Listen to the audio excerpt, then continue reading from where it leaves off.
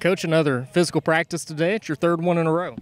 Well, we're getting after it this week, and uh, we need to for sure. So we got to get in game shape somehow, and uh, you know we're just trying to create uh, every situational deal that we can that's game like, and uh, just trying to get better blocking and tackling. That's how you play the game, and uh, you know we're coming along there. Best day we've had for us, you know that goes in physicality. It really sounded like football out here, so that's that's what we want, and got to have a great scrimmage on on Saturday. Got to have a recovery day tomorrow, and, and be ready for you know a pretty good a lot of a lot of plays on Saturday.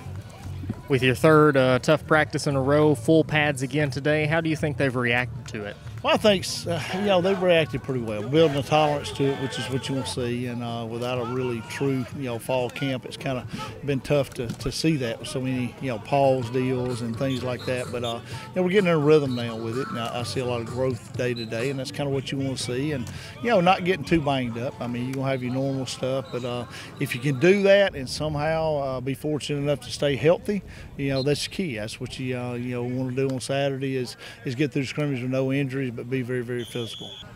Off day on Friday, and then you go into a scrimmage Saturday morning. Tell me what you're looking to get out of that. How many snaps you're looking at? Ah, probably 120, 130 snaps somewhere in there. We went uh, 100 plus uh, last week, so you know we gotta you gotta make up for not playing games. And uh, you know when your opponent, the first opponent you play is gonna have two under their belt you know, you, you got to play some snaps. So it's uh, we're trying to gauge that in the right way, and and we still got guys trying to earn spots too. And uh, you know, just figure out who's going to make that dress list, and you know who's there and who we can trust to play, and who's ready to play.